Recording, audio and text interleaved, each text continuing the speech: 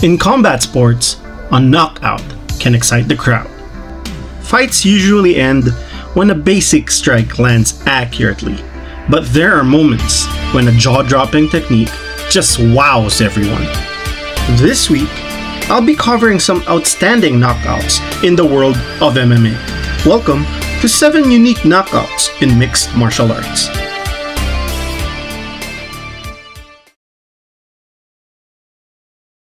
Former UFC welterweight champion Carlos Newton caught his challenger Matt Hughes in a tight triangle choke.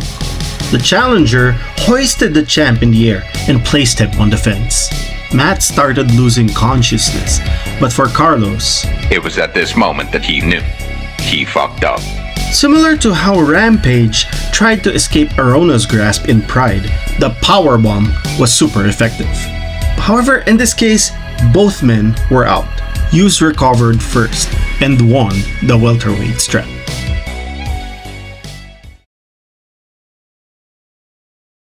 There are many impressive knockouts in the minor leagues. The only reason I chose this one is because it went viral. Shonie Carter is no stranger to highlight reel knockouts. Having said that, his reaction to Tyler Bryan versus Sean Parker, a match which he refereed in LFC 25, was just priceless. Anderson Silva in his prime was on a completely different level. His highlight reel of knockouts include an upkick on Yushin Okami, though he was disqualified for that one. He created a buzz in the MMA world with his elbow strike knockout of Tony Fryklund in Cage Rage. Scott Smith knows from experience how dangerous a liver blow is. His highlight reel comeback knockout shows how a well-timed body shot can incapacitate someone. Having said that, no one expected that he would fall to a turning sidekick delivered by Cung Le during their Strikeforce rematch. It is a fight-ending technique rarely seen at the mainstream level.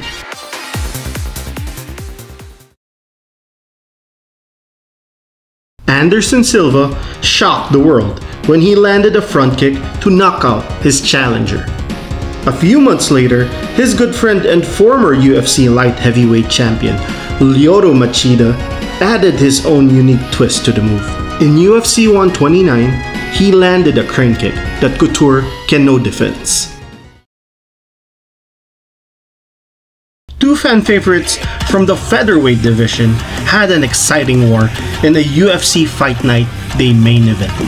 Yair Rodriguez and the Korean Zombie had a 5 round fight.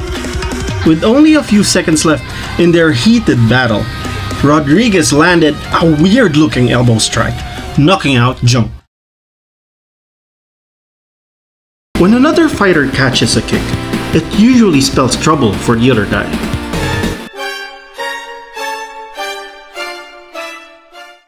What Joaquin Buckley did just shocked everyone watching. He landed an awesome counter, which looked like a stunt from the Matrix movies. The knockout went viral, impressing even his fellow fighters with a unique technique.